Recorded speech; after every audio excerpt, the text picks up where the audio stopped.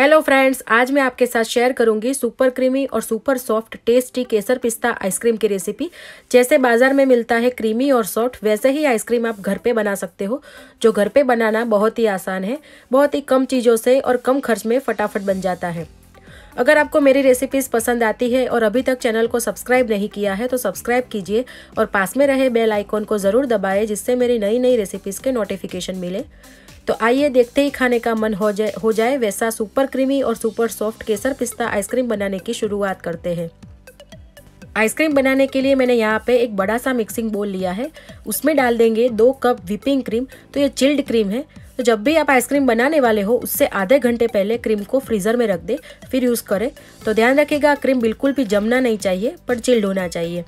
अब ये क्रीम को विस्क करना है। तो उसके लिए मैंने इस तरह का इलेक्ट्रिक विस्कर लिया है। तो इससे विस्क कर लेंगे। शुरू में लो से मीडियम स्पीड पे विस्क करना है।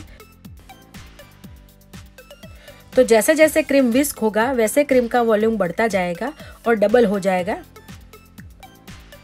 तो क्रीम थिक होके उसमें सॉफ्ट पीक आ जाए, तब तक विस्क करना है। तो करीब पाँच से सात मिनट में ये विस्क हो जाएगा।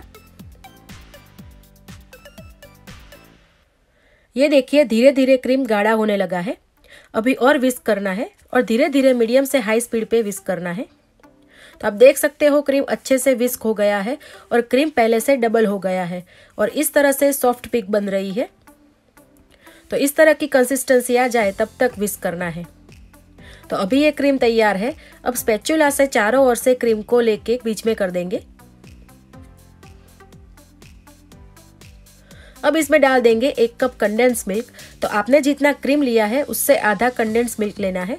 तो मैंने यहाँ पे दो कप क्रीम लिया है तो उसके सामने एक कप कंडेंस मिल्क लिया है। आधे टीस्पून पिस्ता एसेंस डाल देंगे। अगर आपके पास पिस्ता एसेंस नहीं है तो आप इलायची पाउडर डाल सकते हो, या तो फिर वेनिला एसेंस भी डाल सकते हो। अब मैंने यहाँ पे दो टेबल स्पून वॉम मिल्क में आधे टीस्पून केसर को भिगो के रखा था, वो डाल देंगे, जिससे आइसक्रीम में कलर और फ्लेवर बहुत ही अच्छा आएगा। अगर आपको ज़्यादा येलो कलर चाहिए तो आप येलो फ़ूड कलर भी डाल सकते हो। वन फोर्थ कप पिस्ते का दरदरा सा पाउडर डाल देंगे। अगर आपको पिस्ता ज़्यादा डालना हो तो डाल सकते हो।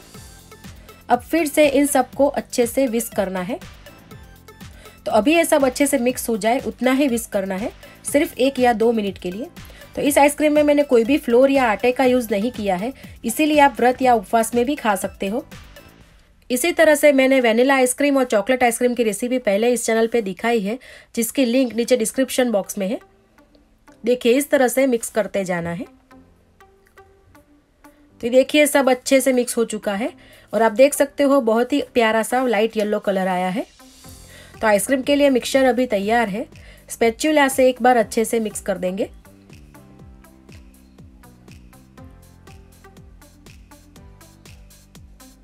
अब मैंने यहाँ पे एक प्लास्टिक का कंटेनर लिया है। इसमें आइसक्रीम के मिक्सचर को ट्रांसफ़र कर देंगे।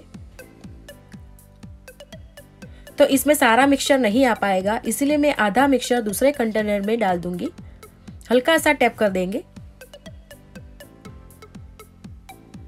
अब इसको ढक देंगे और करीब दो घंटे के लिए फ्रीजर में रख देंगे और बाद में आगे की प्रोसेस दिखाती हूँ। आइसक्रीम को फ्रीजर में रखे हुए दो घंटे हो चुके हैं तो इसका ढक्कन खोल के देख लेते हैं।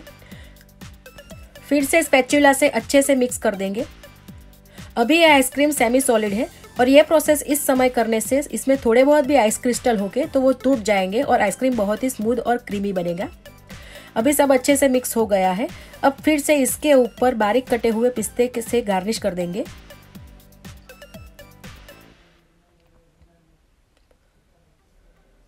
इसको ढक देंगे और फ्रीज़र में आठ से दस घंटे के लिए या तो फिर ओवरनाइट सेट होने के लिए रखेंगे। आठ से दस घंटे के बाद आइसक्रीम को देख लेते हैं। ये देखिए, आप देख सकते हो आइसक्रीम अच्छे से सेट हो गया है और बिल्कुल भी आइस क्रिस्टल नहीं हुए हैं। अब ठंडे ठंडे आइसक्रीम को सर्व करेंगे। तो है ना, बाज़ार जैसा ही क्रीमी और सॉफ्ट बच्चे तो मांग मांग के खाएँगे। तो छोटे बच्चों से लेके बड़ों को सबको पसंद आए ऐसा केसर पिस्ता आइसक्रीम घर पे आप ज़रूर बनाएँ और कमेंट करके बताएँ कि आपको ये रेसिपी कैसी लगी। अगर आपको मेरी ये रेसिपी अच्छी लगी हो तो लाइक करें, ज़्यादा से ज़्यादा शेयर करें और ऐसी नई नई और यूनिक रेसिपी देखने के लिए मेरी ये चैनल को सब्सक्राइब करना ना भूलें। अगली बार फिर मिलेंगे नई रेसिपी के साथ। तब तक के लिए bye thank you for watching